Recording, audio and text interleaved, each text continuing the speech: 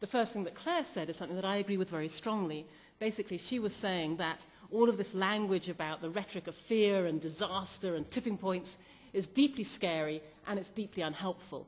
And I couldn't agree more. I think actually that the Green Movement as a whole has actually, you, know, missed a trick here, that we're so busy trying to terrify people into action over climate change because we just think that if we tell people that it's so, so scary, they're going to change what they're doing.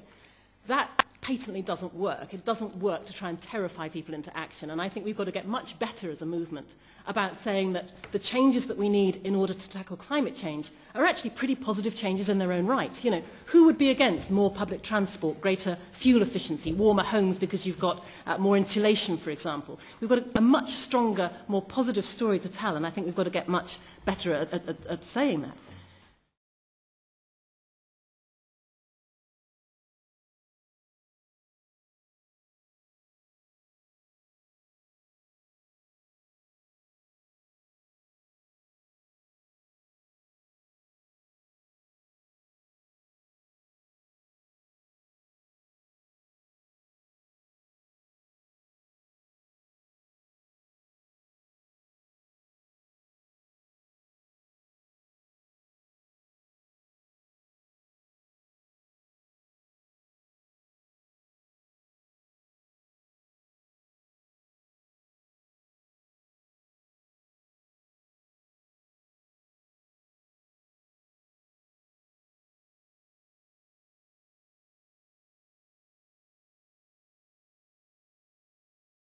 spirit